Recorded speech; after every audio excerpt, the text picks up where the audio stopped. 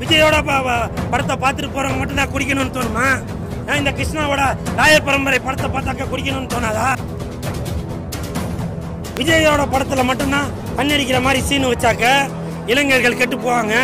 இந்த ராயர் பரம்பரை மாதிரி படத்துல ராஜேஸ்வரி மேடம் என்ன அவங்க ராஜேஸ்வரி மேடம் இப்ப சொல்றேன். உங்க எதிர்ப்பை நீங்க தெரிவிங்க. ஆமாங்க நான் கூட தாங்க. மூணு வருஷத்துக்கு அப்புறம் நான் தான் நடிக்க போறதில்ல கட்சி ஆரம்பிக்க போறேன். எனக்கு ஓட்டு போடுவியா? போடு! போடு. புகரக்கட்டை எல்லாம் பாருங்க. ஏற்கனவே குடிக்காத பசங்க மாதிரி இருக்காங்க. இந்த படம் பார்த்தோன்னா குடிக்கணும்னு தோணும்ல? பார்த்தாக்கா எனக்கு குடிக்கணும் போல தோணும் அப்போ இந்த சமூகத்தில் உள்ள சில சமூக சேவகர்கள் விஜயோட படத்துக்கு மட்டும்தான் எதிர்ப்பு தெரிவிப்பீங்களா? என்னுடைய ரசிகர்களை திரட்டி முதலாக இந்த கமலா தாட்டு வாசல் முன்னாடி போராட்டம் நடத்த போறோம் எனக்கு வாய் இல்லையா ஆ, பொண்ணுங்களை பார்த்து சிரிக்கிறதுக்கு பல்லு இல்லையா கண் அடிக்கிறதுக்கு கண்ணு இல்லையா ஆ, இவ்வளவு திறமைகள் எனக்கு இருந்தோம் கோடம்பாக்கத்தில் உள்ளவங்க எல்லாரையும் இந்த படத்துல நடிக்க வச்சிருக்கீங்களே பரவாயில்லப்பா நான் என்னப்பா தப்பு தப்பா பேசினேன் என்னப்பா இது ராயர் பரம்பரை! ராயர் பரம்பரை! ராயர் பரம்பரை! ராயர் பரம்பரை! இப்போ ராயர் பரம்பரை படம் பார்த்துட்டு வரேன். ஆ? ராயர் பரம்பரை படம் பார்த்துட்டு வரேன். இந்த படத்தில் ஹீரோ தண்ணி அடிக்கிற மாதிரி சீன் வச்சிருக்காரு டேரக்டர் விஜயோட படத்தில் மட்டும்தான் தண்ணி அடிக்கிற மாதிரி சீன் வச்சாக்க இளைஞர்கள் கெட்டு போவாங்க. இந்த ராயர் பரம்பரை மாதிரி படத்தில் தண்ணி அடிக்கிற மாதிரி சீன் வச்சிருக்காங்களே. அப்ப இந்த மாதிரி இந்த மாதிரி இந்த மாதிரி இளைஞர்கள்லாம் தண்ணி அடிச்சு கெட்டு போக மாட்டாங்களா? சொல்லுங்க. இந்த இந்த முகரக்கட்டை எல்லாம் பாருங்க. ஏற்கனவே குடிக்காத பசங்க மாதிரி இருக்காங்க. இந்த படம் பார்த்தோன்னா குடிக்கணும்னு தோணும்ல. இந்த ராயர் பரம்பரை படத்துக்கு நான் கடுமையான எதிர்ப்பை தெரிவிக்கிறேன். ஆ, நான் வந்து குடிக்காத பையன். ஆ, பிடிக்காத பையன். என்ன மாதிரி பசங்க இந்த ராயர் பரம்பரை படம் பார்க்கும்போது குடிக்கிற மாதிரி சீன் வருது. அப்போ அந்த சீனை பார்த்தாக்கா எனக்கு குடிக்கணும்னு போல தோணுது. அப்போது இந்த சமூகத்தில் உள்ள சில சமூக சேவகர்கள் விஜயோட படத்துக்கு மட்டும்தான் எதிர்ப்பு தெரிவிப்பீங்களா? இந்த ராயர் பரம்பரை படத்தில் குடிக்கிற மாதிரி சீன் வருது அதுக்கெல்லாம் எதிர்ப்பு தெரிவிக்க மாட்டீங்களா? சொல்லுங்க. ஆ, அந்த விஜயோட ப- படத்தை பார்த்துட்டு போறவங்க மட்டும்தான் குடிக்கணும்னு தோணுமா? ஆ, இந்த கிருஷ்ணாவோட ராயர் பரம்பரை படத்தை பார்த்தாக்க குடிக்கணும்னு தோணாதா? ஆ, படம் சூப்பரா இருக்குங்க. இருந்தாலும் படத்துல குடிக்கிற வர மாதிரி சீன் வருது அது மிகப்பெரிய தப்பு. இன்னைக்கு சமுதாயத்தை சீரழிச்சிட்டு இருக்கு. புரியுங்க குடிக்கிற மாதிரி சீன் வரக்கூடாது. ஆ, அவங்க பேர் நான் ராஜேஸ்வரி மேடம் என்ன அவங்க ராஜேஸ்வரி மேடம் இப்போ சொல்கிறேன் உங்கள் எதிர்ப்பை நீங்கள் தெரிவிங்க. இந்த படம் ராயர் பரம்பரை படத்தில் மாடி மேலே உட்காந்துட்டு ஹீரோ ஹவுஸ் ஓனரோட சேர்ந்து தண்ணி அடிக்கிறாரு. அந்த ஹவுஸ் ஓனர் தண்ணி அடிக்கிறாரு. அந்த ஹவுஸ் ஓனருக்கு ஒரு அழகான பொண்டாட்டி இருக்கு. அவன் குடிச்சிட்டு அவன் பொண்டாட்டி கூட ஏதோ சிலுமிசம் பண்ணாக்க இன்னைக்கு இந்த சமூகத்தில் உள்ள இதெல்லாம் கெட்டு போயிருமா ஆகாதா ஆ? அதனால இந்த ராயர் பரம்பரை படத்திற்கு நான் மிகப்பெரிய கண்டனத்தை தெரிவிக்கிறேன்? உடனே இந்த ராயர் பர பரம்பரை படம் தமிழகம் முழுவதும் ஓடுறத உடனே நிறுத்தணும். இல்லைனாக்க தமிழகம் முழுவதும் என்னுடைய ரசிகர்களை திரட்டி முதலாக இந்த கமலா தாட்டு வாசல் முன்னாடி போராட்டம் நடத்தப்படும் தீக்குளிக்கப்படும் கற்பழிப்புலாம் ஏற்படுத்தப்படாது. சரியா? அதே மாதிரி இந்த படம் சுந்தர் சி படம் பார்க்குற மாதிரி இருக்கு. நல்ல ஜாலியாக சந்தோஷமா ஃபைட் இருக்கு. கிஸ்ஸிங் சீன் இருக்கு. சாங் இருக்கு. எல்லாமே சூப்பராக இருக்கு. அதே மாதிரி இந்த படத்தில் மொட்டை ராஜேந்திரன் கலக்கியிருக்கீங்கன்னா ஆனந்தராஜனை சூப்பராக பண்ணியிருக்கீங்க சேஷு அவர் சின்ன சீனாக இருந்தாலும் நல்ல கிளாப்ஸ் வாங்குறாரு. ஹாஸ்பிட்டலில் இருக்கார். பாபா லட்சுமணன். அவர் சூப்பராக நடிச்சிருக்காரு. அப்புறம் இன்னொருத்தங்க குங்குமம் மஞ்சளுக்கு இன்றுதான் நல்ல நாள். நம்ம கஸ்தூரி மேடம் அவங்க சூப்பராக நடிச்சிருக்காங்க. புன்னகை அரசி கே ஆர் விஜயா நடிச்சிருக்காங்க. புழுங்கல் அரிசி நான் நடிக்கல. டேரக்டர் ராம்நாத் சார் நீங்க ஊர்ல இருக்கிறவங்க எல்லாரையும் இந்த படத்தில் நடிக்க வச்சிருக்கீங்களே? என்ன ஏன் நடிக்க வைக்கல? ஆ? நீங்க அந்த ஜோடி ஜோடியா சேர்த்து எல்லாரும் கிஸ் அடிக்கிற சீன் கொடுத்துருக்கீங்களே? எனக்கு கிஸ் அடிக்க தெரியாதா? எனக்கு வாய் இல்லையா? பொண்ணுங்களை பார்த்து சிரிக்கிறதுக்கு பல்லு இல்லையா? கண் அடிக்கிறதுக்கு கண் இல்லையா? ஆ, திறமைகள் எனக்கு இருந்தோம் கோடம்பாக்கத்தில் உள்ளவங்க எல்லாரையும் இந்த படத்தில் நடிக்க வச்சிருக்கீங்களே? இந்த ராயர் பரம்பரை படத்தில் நடிக்க வச்சிருக்கீங்களே? ஏன் என்னை நடிக்க வைக்கல? ஆ? நான் ரொம்ப கண்ணியமானவன் சார். பொம்பளை பொண்ணுங்க பக்கத்தில் இருந்தாலும் நான் ரொம்ப நேர்மையாக நடந்துப்பேன். என் தங்கச்சி என் சித்தி பொண்ணு என் மாமா பையன். புரியுதா? அவ்வளவு நான் வெறியோட உள்ளவன்ல. புரியுதா? நான் படத்தில் இந்த படத்தில் என்ன நடிக்க வைக்காததுக்கு மிஸ்டர் ராம்நாத் சார் நான் உண்மையிலே சொல்றேன் நீங்க இந்த படத்துல குடிக்க வைக்கிற மாதிரி நீங்க சீன் வச்சிருக்கீங்க. அது வந்து சமூகத்திற்கு மிகப்பெரிய கேடு. சரிங்களா? இனிமேல் இந்த மாதிரி படம் வந்து நீங்க எடுக்காம நல்ல திறமை உள்ள நடிகர்கள் எவ்வளவு பேர் இருக்காங்க என்ன மாதிரி அவங்களெல்லாம் நடிக்க வைங்க. இன்னும் இந்த ராயர் பரம்பரை மாதிரி இன்னும் நீங்க பல படங்கள் எடுத்துட்டு வரணும் ராயர் பரம்பரை! ராயர் பரம்பரை! ராயர் பரம்பரை! பத்து தலைவரத்துல எஸ்டிஆர் குடிப்பாருன்னு அதை கேக்குறாங்க. ஏவா எதிர்ப்பு எப்போ வந்துச்சு? படத்துக்கு. எதிர்ப்பு எப்போ வந்துச்சு? பத்து தலைக்கு அப்புறம் தான் எதிர்ப்பு வந்துச்சு. பத்து தலைக்கு முன்னாடியே இந்த எதிர்ப்பு வந்திருந்தால் நானாக மட்டுமல்ல தாயாக மட்டுமல்ல தங்கையாக மட்டுமல்ல அக்காவாக மட்டுமல்ல அனைவருக்கும் சேர்த்து குரல் கொடுப்பான் இந்த கூல் சுரேஷ். தட்டு! புரியுதுங்களா? அதனால யாராக இருந்தாலும் அது விஜய் சாரோட படத்துக்கு மட்டும்தான் நீங்கள் எதிர்ப்பு தெரிவிப்பீங்களா? சொல்லுங்க ராஜேஸ்வரி மேடம். இப்போ நான் கமிஷனர் ஆஃபீஸுக்கு போறேன். புரிதுங்களா என்ன மாதிரி இளைஞர்கள் குடிக்காம இருக்கிற இந்த என்ன மாதிரி இளைஞர்கள் இந்த ராயர் பரம்பரை படத்தை பார்த்துட்டு குடிக்கணும்னு தோணுது. எப்படா ஒயின் ஷாப்பு திறப்பாங்கன்னு தோணுது. இப்போவே போகிறேன் கமிஷனர் ஆஃபீஸுக்கு போய் ஒரு கம்ப்ளைண்ட் கொடுக்குறேன்.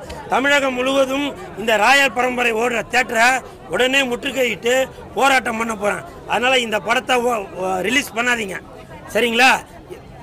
புரியுதா? புரியுதா? ஒயின் ஷாப்ல அஞ்சு ரூபா எக்ஸ்ட்ரா வைக்கிறாங்களா அதை தெரியலவா அஞ்சு ரூபா தானே எக்ஸ்ட்ரா பாருங்க. அது எனக்கு தெரியலப்பா. காரணம் ஒயின் ஷாப் அந்த தெருவிலே நான் போக மாட்டேன். நீங்கள் பேனாவை என்கிட்ட என்கிட்ட கொடுத்து ஒயின் ஷாப்னு எழுத சொன்னால் கூட எனக்கு எழுத தெரியாது. ஒருவேளை நான் எழுதினாலும் அந்த பேனா கூட எழுதாது. எவனோ ஒருத்தன் பாருன்றான். அந்த பாரு கூட எனக்கு தெரியாதுப்பா. புரியுதா? ஏன்னா நான் வந்து அப்படி வந்து யாரையுமே பார்க்காம நான் வளர்ந்தவன் நான். சரிங்களா? அதனால் மது அதை வந்து ஒழிச்சிடணும். ஒயின் ஷாப் ஆ.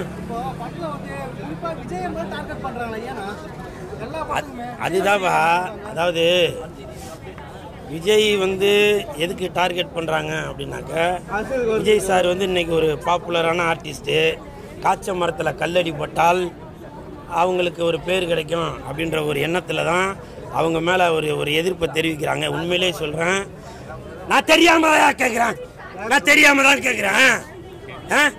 நான் தெரியாம தான் கேட்குறேன் நீங்களே சொல்லுங்க. கில்லி படம் பார்த்தீங்களா கில்லி படத்தில் ஹீரோ கபடி வீரராக வருவார். கில்லி படம் பார்த்துட்டு எத்தனை பேர் கபடி வீரராக இருக்கீங்க? ஆ? மெர்சல் படத்தில் டாக்டராக வருவார். மெர்சல் படம் பார்த்துட்டு எத்தனை பேர் டாக்டர் இருக்கீங்க சொல்லுங்க. ஆ மாஸ்டர் படம் பார்த்துட்டு எத்தனை பேர் வாத்தியார் இருக்கீங்க? ஆ? அதெல்லாம் பார்த்துட்டு கெட்டு போவாத நாய் கெட்டு போவாத நாய் ஆ, கெட்டு போவாத நாய் ஆ, இந்த என்ன படம் என்ன பாட்டு? லியோ. லியோ. படத்துல வர பாட்டை பார்த்துட்டு தான் கேட்டுட்டு தான் நீ குடிச்சு சீரழிஞ்சு போப் போறியா? சொல்லு. தட்டு. இப்ப கூட நான் சொல்றேன். நான் வந்து விஜய்க்கு சப்போர்ட் பண்ணி பேசுறேன் அப்படின்னு சொல்ல வரல. ஒரு ஜென்ரலா யோசிச்சு பாருங்கயா ஒரு ஜென்ரலா யோசிச்சு பாருங்க. இப்போ மாமன்னன் படத்துல வடிவேல நான் ஒரு கத்தி வச்சிருக்காரு. அந்த கத்தி வச்சிருந்தாக்க என்ன அர்த்தம்? எல்லாரையும் குத்தி கொலை பண்ணி இன்னைக்கு வந்து தமிழகத்தை சீரழிக்க போற அர்த்தமா? இல்ல. ஒருத்தன் கத்தி எடுக்கிறானா? அவன் ஆப்பிள் வெட்டவும் எடுப்பான் மாம்பழம் வெட்டவும் எடுப்பான் தேங்காய் வெட்டுறதுக்கு எடுப்பான் தென்னை வெட்டுறதுக்கு எடுப்பான். ஆனா எந்த வெட்ட எடுக்க மாட்டான். ஏன்னா அவனுக்கு தெரியும் கூல் சுரேஷ் அப்ப பையன் அவனெல்லாம் வெட்டக்கூடாது அப்படின்னு. புரியுதுங்களா? அதனால நீங்க படத்தை பார்த்து கெட்டு போவாங்க அப்படின்றது ஒரு மிகப்பெரிய ஒரு ஒரு தவறான ஒரு எண்ணம். உங்களுக்கு பப்ளிசிட்டிக்காக நீங்க ஏதோ ஒன்று செய்றீங்க. நாங்க புரியுதுங்களா?